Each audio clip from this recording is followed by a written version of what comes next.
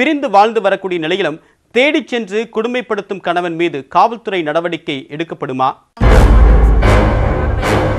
வெவ்வேறு மதங்களைச் சேர்ந்த இருவரும் காதலித்து திருமணம் செய்து கொண்ட நிலையில் திருமணத்திற்கு பின் கணவனின் உண்மை முகம் தெரிய வந்துள்ளது.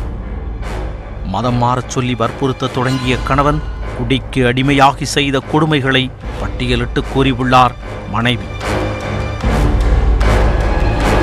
ராணிப்பேட்டை மாவட்டம் மூட்டூரில் உள்ள பிள்ளையார் கோவில் தெருவில் வசித்து வருபவர் இருபத்து நான்கு வயதான ஜபீனா இவர் சித்தூரைச் சேர்ந்த ஸ்ரீநாத் என்பவரை காதலித்து கடந்த இரண்டாயிரத்து பதினொன்றாம் ஆண்டு இஸ்லாமிய முறைப்படி திருமணம் செய்து கொண்டார்.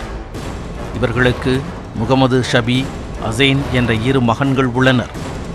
இந்த நிலையில் தன்னையும் தனது குழந்தைகளையும் அடித்து துன்புறுத்துவதாகவும் தன்னை பாலியல் தொழிலில் தள்ள முயற்சிப்பதாகவும் ஜபீனா ராணிப்பேட்டை அனைத்து மகளிர் காவல் நிலையத்தில் புகார் அளித்துள்ளார்.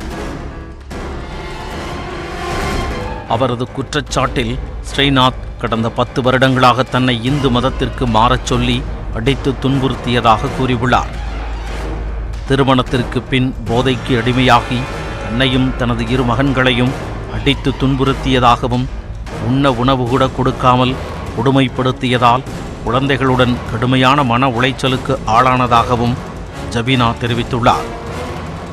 ஸ்ரீகாந்த் கொடுமைகளை தாங்க முடியாமல் தான் தனது இரு மகன்களுடன் பலமுறை தற்கொலை செய்து கொள்ள முயற்சி செய்துள்ளதாக குறிப்பிட்ட ஜபீனா கொடுமை தாங்க முடியாமல் இரண்டாண்டுகளுக்கு முன்பு விசி மோட்டூரில் உள்ள தனது தாயார் வீட்டிற்கு சென்றுவிட்டதாகவும் கூறியுள்ளார்.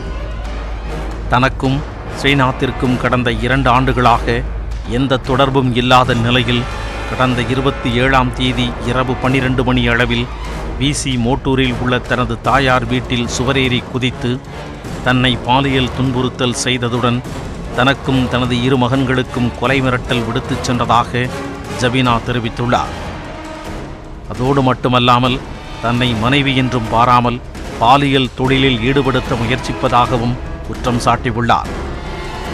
ஸ்ரீநாத் மீது சித்தூர் மாவட்டத்தில் உள்ள பல்வேறு காவல் நிலையங்களில் பல குற்ற வழக்குகள் நிலுவையில் உள்ளதாக சுட்டிக்காட்டிய ஜபீனா அவரால் தனக்கும் தனது இரு மகன்களின் உயிருக்கும் ஆபத்து ஏற்பட்டுள்ளதாக தனது புகார் மனுவில் தெரிவித்துள்ளார்.